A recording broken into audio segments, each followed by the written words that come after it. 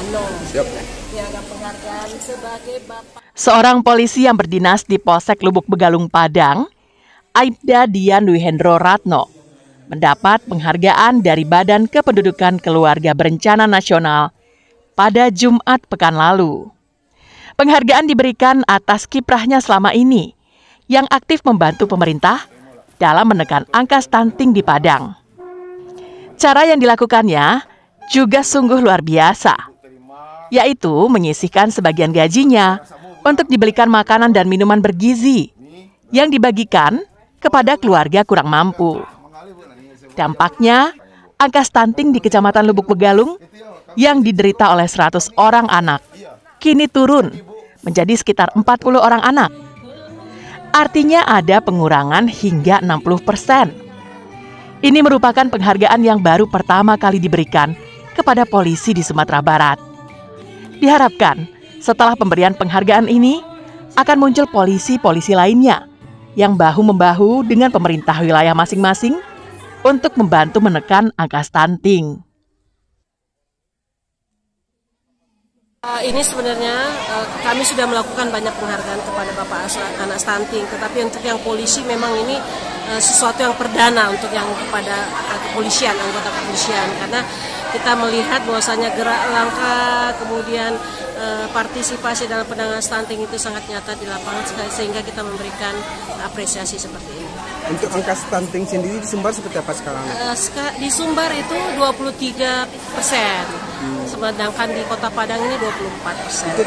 Menurut Camat Lubuk Begalung, Aibda Dian Wihendro Ratno adalah polisi yang memang rajin memberikan makanan tambahan kepada keluarga yang anaknya berpotensi stunting. Ini apresiasi apa yang dilakukan oleh salah satu anggota kepolisian khususnya dari Polsek pada uh, Lubuk Begalung yang telah sangat aktif dalam upaya penurunan angka stunting di mana Pak Dian beliau memberikan uh, eh, PMT pemberian makanan tambahan kepada keluarga-keluarga yang berisiko stunting. Itu angka stunting kita berada di kisaran 100 orang anak. Alhamdulillah sekarang berdasarkan data EPP GBM terbaru data anak stunting kita berada di kisaran angka 0,1 persen atau kalau dihitungnya sekitar 41 orang. Aibda Dian Wihendro Ratno, seorang anggota reskrim Polsek Lubuk Begalung, tak bisa melupakan masa kecilnya yang penuh perjuangan. Dia pernah mengalami kekurangan makanan dan menjadi buruh angkut semen di Muaro Padang saat remaja. Kini, ia mendedikasikan hidupnya untuk membantu anak-anak kurang beruntung, terutama yang mengalami stunting atau kekurangan asupan gizi. Kita kan dari keluarga susah juga Pak ya, orang tua oh, oh, susah, ke depan orang tua kerjanya tukang, karena kerja kita termasuk buruh, buruh di kapal Pak di Muara Padang. Dan dari niat hati yang ikhlas untuk membantu anak-anak yang kurang gizi dengan memberikan makanan bergizi Pak untuk program peduli anak stunting kita selalu peduli dengan memberikan makanan bergizi dengan seperti susu, oh, telur, di daging dan kita bikin sup dan mengunjungi rumah-rumah anak stunting yang di bawah naungan binaan kita.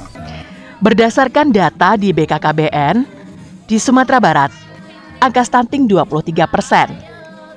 Sedangkan untuk di Padang, angkanya lebih tinggi, yakni 24 persen.